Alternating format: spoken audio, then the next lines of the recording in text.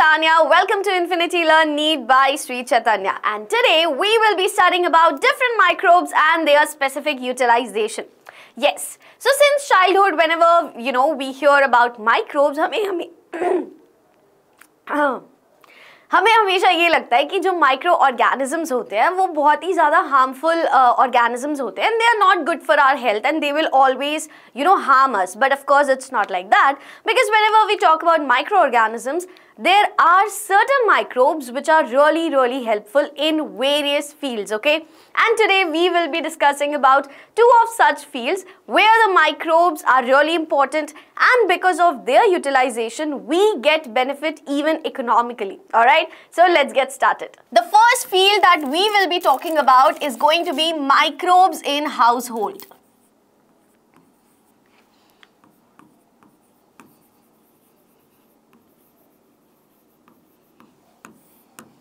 you know it's not just now कि आज हम साइंस पढ़ रहे हैं आज हम बायोटेक्नोलॉजी के बारे में बातें करते हैं तो फिर हमें पता है कि माइक्रोब्स का यूटिलाइजेशन हो सकता है और हम माइक्रोब से बेनिफिट भी ले सकते हैं but even in ancient times when you know people were not much aware about science then also they have always been utilized microorganisms and they have you know got the benefit out of it it's just that कि उन्हें खुद नहीं पता था that they are utilizing the microorganisms right for example जैसे आज भी हमारे घर में हमारे घरों में हम दही जमाते हैं so this has been taking place since ever right how do we do it so we take small amount of curd जिसे हम इनोक्यूलम कहते हैं so we take small amount of curd and we add it to the milk at a very moderate temperature, right? And we keep it overnight and the next morning we see that the milk is converted to curd, right? So how does it actually happen?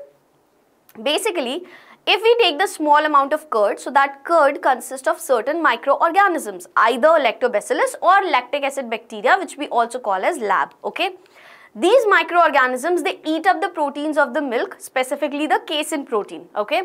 When they eat up the uh, you know milk protein they actually coagulate the milk into the curd and that is how the formation of milk into curd takes place तो ये हो तो हमेशा से रहा है लेकिन हमें खुद नहीं पता था या फिर हमारे जो एंसेस्टर्स हैं उन्हें खुद नहीं पता था that they are utilising certain micro organisms and they are taking out the benefit of it right so let's understand how exactly the milk is converted to curd with the help of micro organisms so yes the first thing that has been really really important for us is always been the formation of curd from milk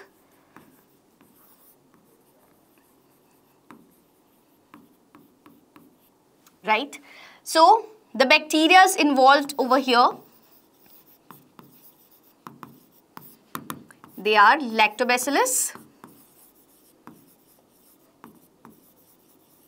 or lab which is lactic acid bacteria correct तो यहाँ पे क्या होता है first of all the inoculum is being taken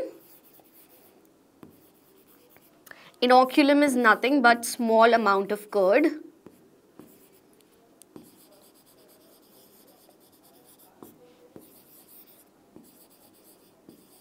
Okay? Small amount of curd is added to the milk at moderate temperature.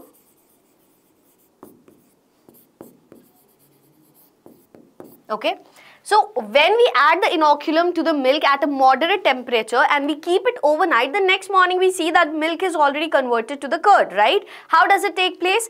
Because here the proteins are being eaten up of the milk or we can say that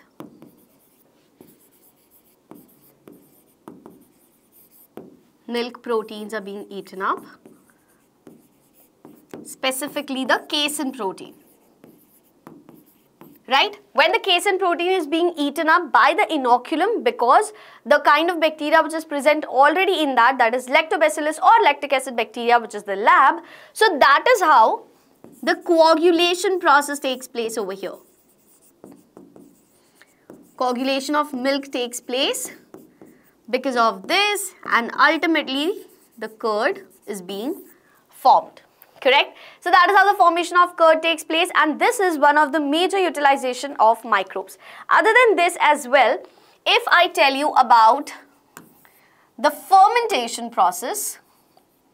This is also one of the most important processes for us where the microorganisms are utilized. And whenever we talk about fermentation process, तो हमें पता है that either the ethanol will be produced over here and also the carbon dioxide is uh, the carbon dioxide gas is going to get released because of which there will be a certain puffiness in our food items that we can experience right तो अगर हम fermentation की बात करते हैं so there are fermented food items that we consume and then of course there are fermented beverages all the alcohol beverages like beer, wine, whiskey, brandy, rum जिसमें सबका fermentation process different होता है because it depends कि आप कौन से food item से उस अल्कोहलिक बिवरेज का फॉर्मेशन कर रहे हैं, ठीक है? So yes it takes place through the fermentation process but it's not exactly the same for example अगर मैं बियर और वाइन की बात करती हूँ सो बियर और वाइन का जो प्रोडक्शन होता है that takes place without the distillation process but if I talk about whisky brandy and rum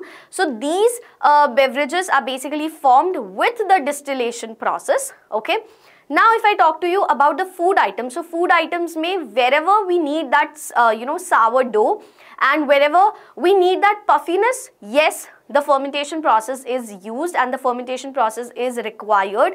For example if I talk about dosa, idli, bread, uh, cheese, okay, uh, if you see those uh, really big holes in the Swiss cheese, that's because of more amount of carbon dioxide. So yes, the puffiness and the fluffiness over there in certain fermented food items, it's because of the amount of carbon dioxide that is being released or that is, you know, being formed during the process of fermentation. And when we talk about fermentation, there is one microorganism that is always utilized in the fermentation process and that is the yeast, which is your Saccharomyces cerevisiae. Alright, so first of all, we really need to know that the name of the yeast Saccharomyces cerevisiae.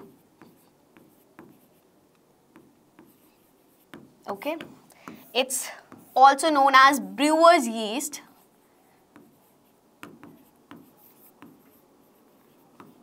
Okay, so it's helpful in the fermented food items for their formation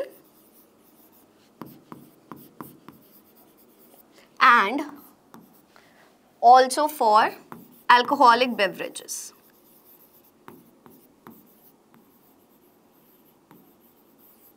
So if I talk to you about alcoholic beverages, as I told you, wine and beer, they will take place without distillation.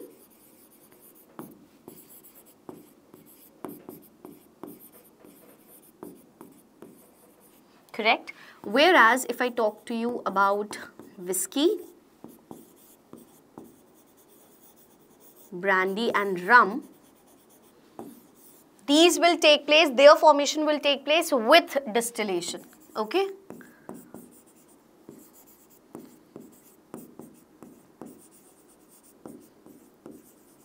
Correct. Now if I talk to you about the fermented food items over here, it includes everything with the sourdough.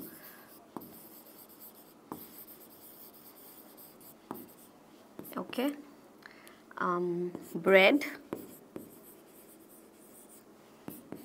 cheese. Cheese is, you know, one of the most ancient food items that we have been utilizing that too with the help of the fermentation process. Okay. Dosa, idli, etc. So here what is going to happen? Here the puffiness is important that depends on the amount of carbon dioxide gas which is being released during the process of fermentation right? So that was about the fermentation process where again we utilize the microorganism. And now the last thing that we are going to discuss the last utilization that we are going to discuss today is going to be about the antibiotics. All right?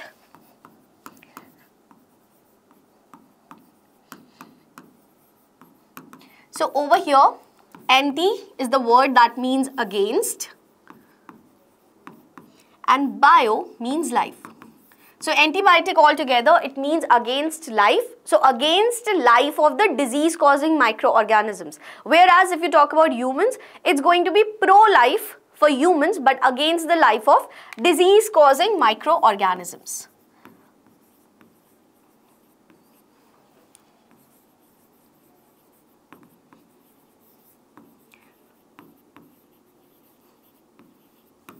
So this was really important because with the help of microorganisms itself, we can make a medicine or we can make you know a substance that will help us get rid of the microorganism itself okay? So that was really really important. And as we already know that the first antibiotic was introduced to us by Alexander Fleming right? And the antibiotic was penicillin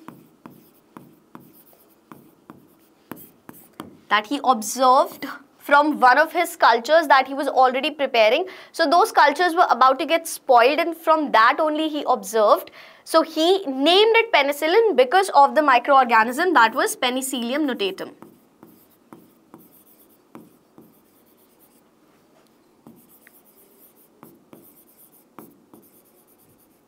And then this penicillin, this antibiotic was really utilized and it was really, really important because it, it was actually helpful, uh, you know, in, cure, in curing all the wounds in the Second World War.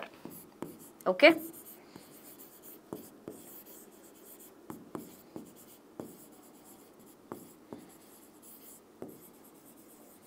Of Americans, of course.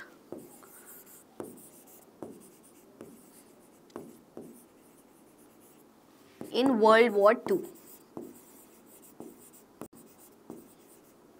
So that that's why it was really really important. Yes, it, it was introduced by Alexander Fleming, but later on the proper usage, it was also told to us by Florey as well.